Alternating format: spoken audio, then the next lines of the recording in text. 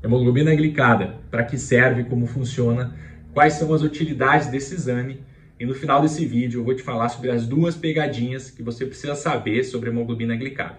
Eu sou o Dr. João, eu sou endocrinologista. Se você não me conhece ainda, te convido para se inscrever no meu canal, clicar no botãozinho de inscreva-se. Você vai começar a acompanhar de forma gratuita o meu conteúdo. E aqui eu falo sobre diabetes, tireoide, hormônios em geral, prolactina, cortisol, medicina e saúde também. Então, se você se interessa por isso, se inscreva e comece a acompanhar. Hemoglobina glicada é um exame de sangue que reflete a média estimada da glicose dos últimos 90 a 120 dias. Hemoglobina se refere ao pigmento vermelho do sangue, responsável por fazer a oxigenação dos órgãos e tecidos, e glicada em relação à glicose. A união deles forma hemoglobina glicada. A duração da hemoglobina glicada, assim como a hemoglobina, é de 90 a 120 dias.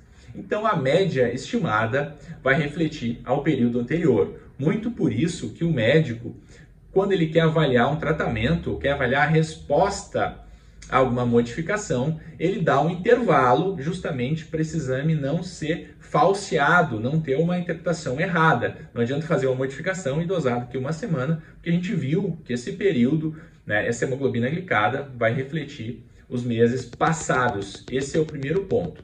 Então, a primeira utilidade da hemoglobina glicada é justamente o controle da glicose e fazer né, as metas terapêuticas para a prevenção das complicações do diabetes e também para o controle da doença, sabe quando que precisa né, aumentar as medicações ou retirar né, ou fazer modificações do estilo de vida.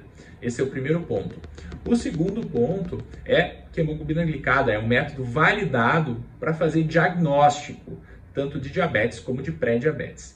Até 5.6 se considera um exame normal, né? de 5.7 a 6.4 é o pré-diabetes e de 6,5 para cima é considerado o diabetes mellitus tipo 1 e tipo 2. É, vale lembrar que esse exame precisa, repetido, precisa ser repetido é, em duas ocasiões. Não é só um exame que confirma ou faz diagnóstico.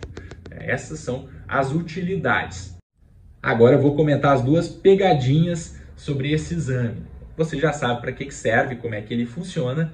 É, então a primeira pegadinha é justamente sobre a média da glicose. Se o paciente está fazendo muita hipoglicemia, muita glicose baixa e também muita hiperglicemia, às vezes a média da glicose ele vai dar um resultado falso. Para diminuir a chance de erro desse exame, o médico pode lançar a mão dos exames de glicemia capilar, né? o exame da ponta de dedo, que o paciente faz com glicosímetro. Assim ele consegue ter uma ideia de quantas hipoglicemias estão acontecendo naquele período. A segunda pegadinha é que existem doenças que interferem na hemoglobina glicada, podendo elevá-la ou abaixá-la.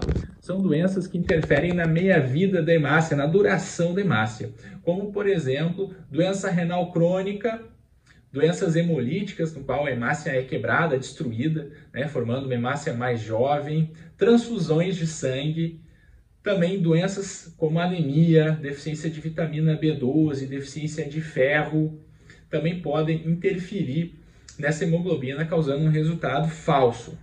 É, não esqueça de curtir esse vídeo para ele ser distribuído também. Se você não gostou, aperta no não gostei aqui, que isso me ajuda também, tá certo?